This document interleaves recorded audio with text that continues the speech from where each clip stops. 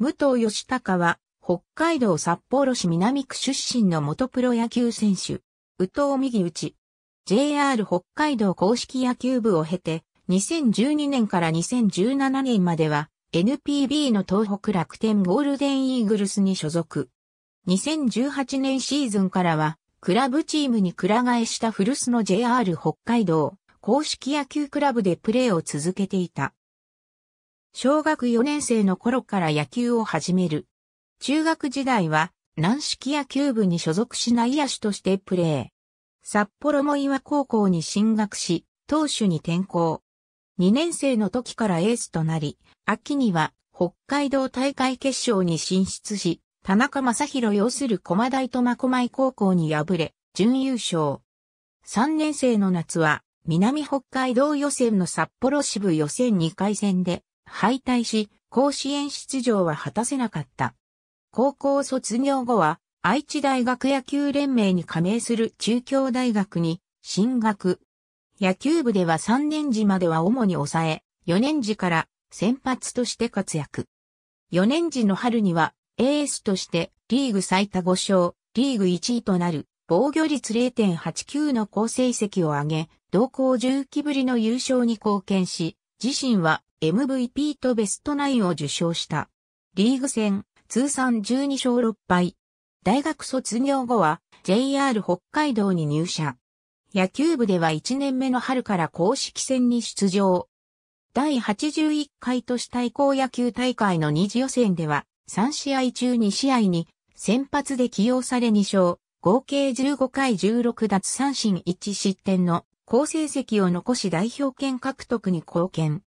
本戦では、初戦の三菱重工名古屋戦で先発し、6回に安打6奪三振で、ソロ本塁打による1失点のみと高騰したが、チームが2安打完封負けを喫し初戦敗退となった。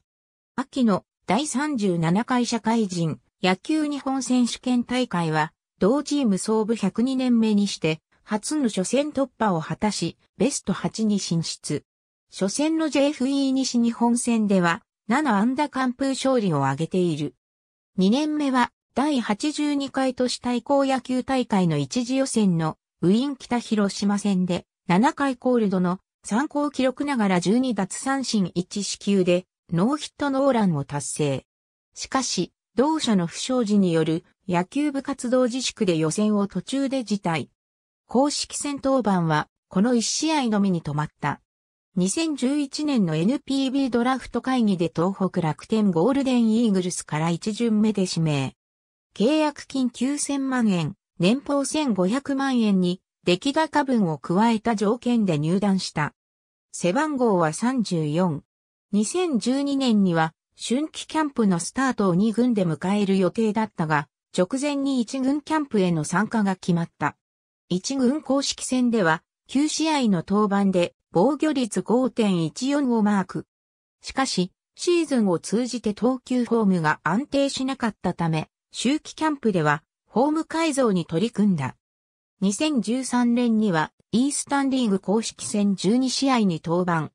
しかし、0勝1敗、防御率8.87と振るわず、一軍公式戦への登板機会はなかった。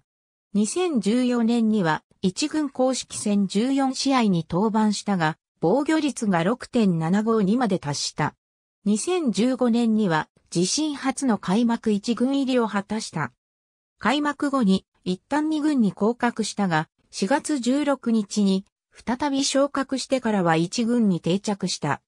5月には9日の対福岡ソフトバンクホークス戦で1軍公式戦初セーブ、12日のオリックスバファローズ戦で1軍公式戦初勝利をマーク。7月までは主にビハインドの局面で登板しながら防御率が2点台の中盤で安定していた。8月に月間防御率5.54、9月に15.26を記録するなど調子を落としたが、チームのレギュラーシーズン最終戦であった10月6日の対千葉ロッテマリーンズ戦でシーズン60試合登板を達成した。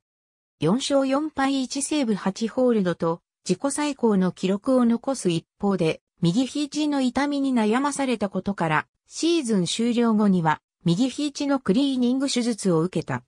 2016年には2軍春季キャンプでの調整を経て3月中旬のオープン戦から1軍へ合流する予定だった。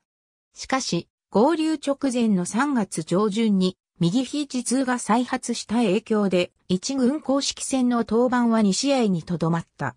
2017年には1軍公式戦への登板がなく、10月1日に球団から戦力外通告を受けた。2017年から活動している JR 北海道公式野球クラブに2018年1月1日付で加入。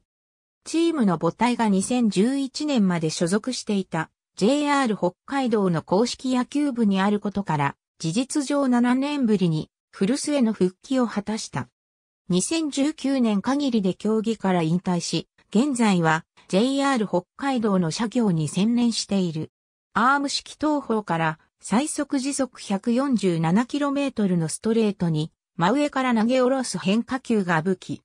変化球はスライダーカットボールフォークを投げる。しかし、楽天への入団直後に一軍監督だった投手出身の星野千一に肘や腕の振り方を指摘されたことから入団2年目までは投球フォームの改造を繰り返した。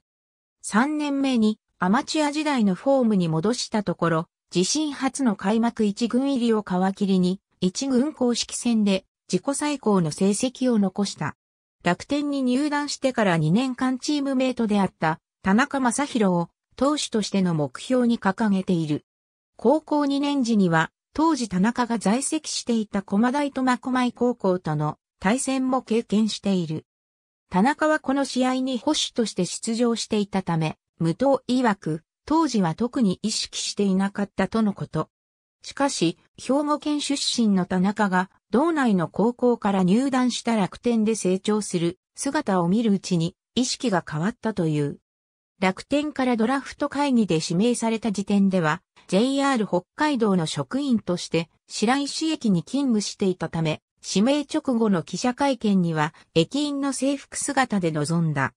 同社公式野球部は2016年限りで廃部となったため、武藤は同部 OB で最後の NPB 選手になった。楽天2年目の2013年1月1日に8歳年上の女性と結婚した。ありがとうございます。